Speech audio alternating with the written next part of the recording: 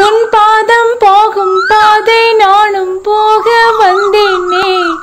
உன்மேலே ஆசைப்பட்டு பார்த்து காத்து நின்னேனே. ஹாய் ஃப்ரெண்ட்ஸ் எல்லாருக்கும் வணக்கம். மாடியில் குட்டியாக ஒரு மரத்தை பார்க்குறப்ப மனசுக்கு ரொம்ப மகிழ்ச்சியாக இருக்கும். செடி முருங்கை பராமரிப்பு சில டிப்ஸ் இன்னைக்கு நம்ம பார்க்க போகிறோம் ஃபர்ஸ்ட் டைம் களிக்காட்டுக்குள் சேனல் வீடியோ நீங்கள் பார்க்குறீங்க அப்படின்னா சப்ஸ்கிரைப் பண்ணி பெல் பட்டனை கிளிக் பண்ணிட்டு வாங்க. பார்க்கலாமா?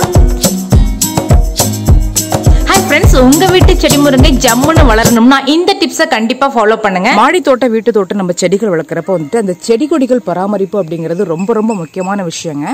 நான் வந்து என்னுடைய முருங்கை மரத்தை கவாத்து பண்ணின பிறகு அது வந்து இந்த அளவுக்கு செழிப்பாக வளர்ந்துருக்கு.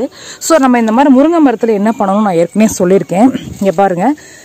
சில கிளைகள் வந்து பார்த்தீங்கன்னா ரொம்ப நீண்டுக்கிட்டே போகும். இதில் வந்து பூக்கள் இருக்குது ஸோ பூக்கள் இருக்குது அப்படிங்கிறப்ப இதை நம்ம விட்டுறலாம். இந்த கிளை பாருங்களேன். இது வந்து ரொம்ப உயரமாக வளர்ந்து கொஞ்சம் ரொம்ப லென்த்து போக முடியாமல் வளைஞ்சிருச்சு அப்படியே துவண்டுருச்சு. ஸோ அப்போ இந்த மாதிரி ரொம்ப லென்த்தியாக போகிற கிளையை வந்து நம்ம வந்து இப்படி உடச்சி விட்டுறலாம்.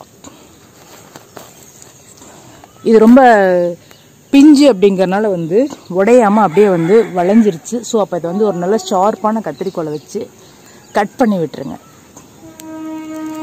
இல்லை ஒரு கத்தி இருந்தது அப்படின்னா அதை வந்து அறுத்து விட்டுருங்க. இந்த மாதிரி கட் பண்ண பிறகு இந்த நுனி இருக்கு இல்லைங்களா இது காயம் படாம ஷார்ப்பான கத்திரிக்கோலை வச்சு பிசுரை கட் பண்ணிட்டு கற்றாழை ஜெல் அப்படி இல்லைன்னா மஞ்சள் தூளை அல்லது மாட்டு சாணம் ஏதாவது ஒன்று மேலே அமுத்தி விட்டுருங்க. இந்த மாதிரி நம்ம உடைச்சி விட்டுட்டோம் அப்படின்னா இது திரும்ப கிளச்சி வந்துட்டு நமக்கு வந்து ஃப்ரெஷ்ஷாக வந்து பூக்கள் வைக்க ஆரம்பிக்கும். இந்த கீரைகள் கம்மியாக தான் இருக்குது அப்படிங்கிறப்ப இதை நம்ம சூப் வச்சுக்கலாம். இல்லை முருங்கைக்கீரை துவையல் மாதிரி வந்து நம்ம அரைச்சிக்கலாம்.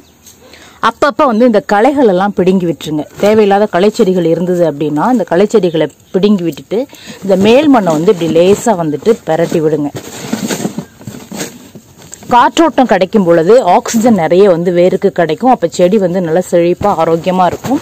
எப்படி வந்து தண்ணி சூரிய ஒளி வந்து ஒரு செடிக்கு வந்து அவசியமோ அதே மாதிரி வந்துட்டு காற்றோட்டமும் ரொம்ப அவசியங்க. அதுவும் இந்த முருங்கை மரம் வளரணும் நிறைய பூக்கள் கொடுக்கணும் அப்படின்னு சொல்லி சொன்னால் கண்டிப்பாக வந்து சன்லைட் வந்து ரொம்ப ரொம்ப ரொம்ப அவசியம். இந்த குட்டி வீடியோ உங்களுக்கு பயனுள்ளதாக இருக்கும்னு நினைக்கிறேன். பிடிச்சிருந்தா கள்ளிக்காட்டு கோயிலை சப்ஸ்கிரைப் பண்ணி பெல் பட்டனை கிளிக் பண்ண மறந்துடாதீங்க. Thank you have a good day